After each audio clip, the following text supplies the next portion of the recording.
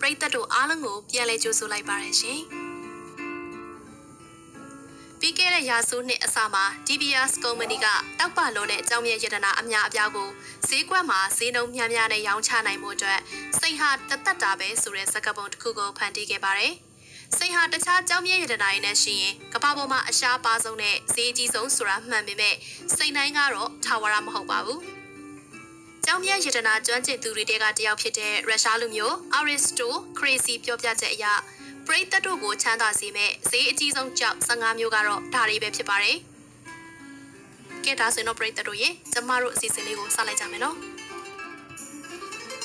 နံပါတ်1 Daffet မယုံနိုင်လောက်စရာရှားပါကြောင်းမြတ်ရတနာတွေနဲ့တထုလောကကိုဝင်ဖို့ပထမဆုံးခြေလှမ်းကိုတော့ဒါနဲ့စတင်လိုက်ရအောင်။ Daffet နဲ့မိတ်ဆက်ပေးပါစီရှင်။ စူးစမ်းတဲ့ရှီဟောင်းကြောင်မြတ်ရတနာစူဆောင်းသူသာရှာမတွေ့ခဲ့ရင်ကြံနေခဲ့ရမယ့်ရှားပါကြောင်လေးပါ။ Australia Irish လူမျိုးကြောင်မြတ်ရတနာပညာရှင်ဖြစ်တဲ့ Count Edward Fett နဲ့တွေ့ဆုံကြည့်လိုက်ပါ။သူဟာ1940အလယ်ပိုင်းလောက်မှာဘတ်တလင်က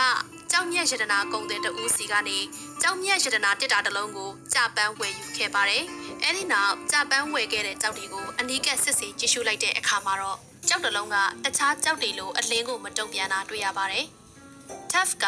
အဲ့ဒီကြောက်ကိုခွဲချမ်းစိတ်ဖြာဖို့အတွက်လန်ဒန်ကုန်သည်ကြီးများအသင်းစီကိုပို့လိုက်ပါတယ်။ပရိသတ်တို့ထင်တဲ့အတိုင်းပါပဲ။သူ့ကိုဘလို့ရလက်ကစောင့်ကြိုနေမယ်ဆိုတာသူမသိခဲ့ပါဘူး။မယုံနိုင်လောက်စရာအဖြေကတော့သူဟာလုံးဝလူမသိသေးတဲ့ကြောင်းမြတ်ရတနာကိုဝယ်ယူမိခဲ့တာပဲဖြစ်ပါတယ်။ဒီလိုအံ့ဩဖွယ်ရာကိုရှာတွေ့ခဲ့သူကတော့ Tuff ဖြစ်တာကြောင့်ဒီကြောက်ကိုသူ့နာမည်အစွဲပြုပြီးတော့မှဲ့ခေါ်ခဲ့ပါတယ်။ နောက်ပိုင်းမှာတော့ကဘာကျိုရဲ့ဘူမိပေတာကိုပုံမိုစူးစိုက်လေးလာခဲ့ကြတာကြောင့်နိုင်ငံတကာကြောက်မြတ်ရတနာအဖွဲ့အစည်းကဒီကြောက်ကလေးရဲ့ဇာတိကိုတိတိလင်ကဖြစ်တယ်လို့ခြေရခံနိုင်ခဲ့ပါတယ်။အဲ့ဒီအချိန်ကစလို့တန်ဇန်နီးယားနိုင်ငံနဲ့တရုတ်နိုင်ငံမှာအဲ့ဒီလိုကြောက်မျိုးအများအပြားထပ်တွေ့ရပေမဲ့နမူနာအခု90ထက်တော့မပိုဘူးလို့ထင်မြင်ချက်ပေးကြပါတယ်။အများစုကလည်းဘူမိပေတာပညာရှင်တွေနဲ့ပုဂ္ဂလိကအစုစားမှုလက်အောက်မှာပဲရှိနေ